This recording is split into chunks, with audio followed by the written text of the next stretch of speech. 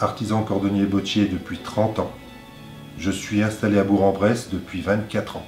Dans mon entreprise, le client qui franchit la porte va trouver un artisan qui, sans prétention aucune, excelle dans le monde de la chaussure. J'ai la connaissance complète de la fabrication d'une soulier.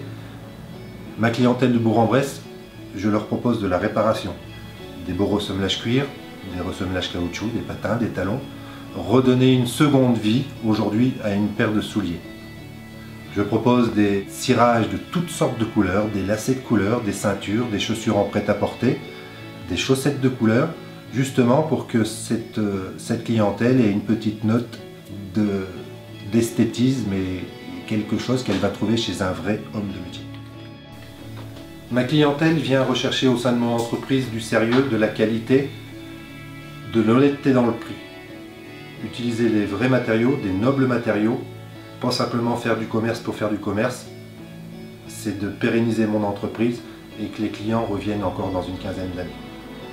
Ma clientèle, c'est des personnes âgées qui font revivre une vieille paire de souliers. Ce sont des chefs d'entreprise qui font ressembler des chaussures en cuir. Ce sont des jolies dames élégantes qui font recoudre leurs petits sacs à main. C'est des gens qui cherchent des petits cirages ou des petits lissés de couleurs. Voilà, c'est très varié, c'est très varié. On essaye d'avoir un accueil complet. Nous sommes à une heure de Lyon, nous sommes à peu près à une heure et quart de Genève. J'ai aussi de la clientèle en sur-mesure parce que je fais du sur-mesure. Mais j'aime ce côté de cette ville, petit village, avec ces gens qui sont quand même très agréables. Et j'aime les servir. J'aime travailler avec ces gens qui me, qui me font rêver, qui me passionnent. J'ai un beau savoir-faire et je leur rends service. Le cordonnier, c'est un confident. Beaucoup de notre clientèle vient et ne nous parle pas de ses souliers, parce que ces souliers, elles ont une histoire. Donc on les écoute, on les conseille, on fait revivre leurs chaussures et on essaye de leur donner un peu de sourire. Dans mon entreprise, si vous franchissez le seuil de la porte, déjà vous allez me rencontrer.